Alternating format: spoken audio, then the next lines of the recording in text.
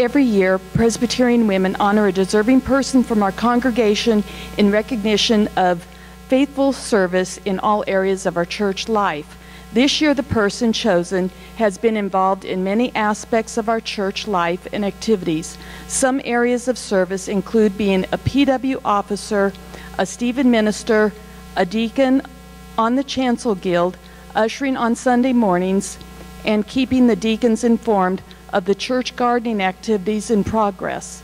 She also serves with the prayer shawl group, keeping her, nimble, her fingers nimble, crocheting and knitting prayer shawls, as well as quietly delivering shawls and those face, um, quietly delivering shawls to those facing challenges uh, uh, and, and events in their lives.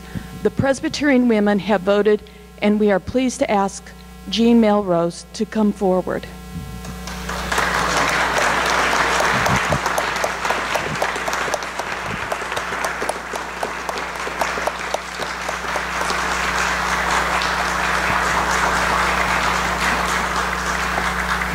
We would have done this last Sunday on Women's Sunday, but Jean decided to go out of town.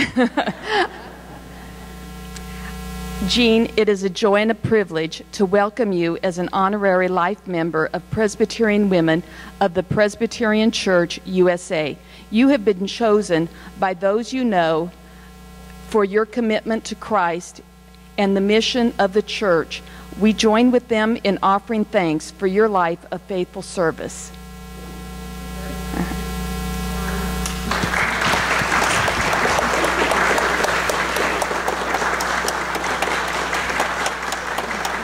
For you. Oh, you